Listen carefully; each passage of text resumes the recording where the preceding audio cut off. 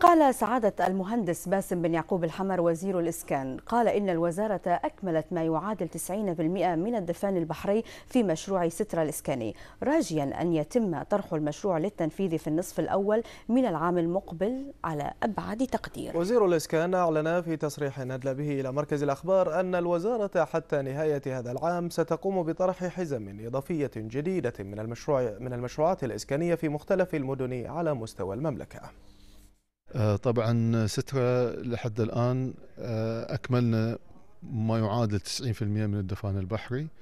آه، تصاميم أيضا جاهزة. نتأمل إن شاء الله أن يتم طرح هذا المشروع مع الربع الأول أو منتصف العام القادم.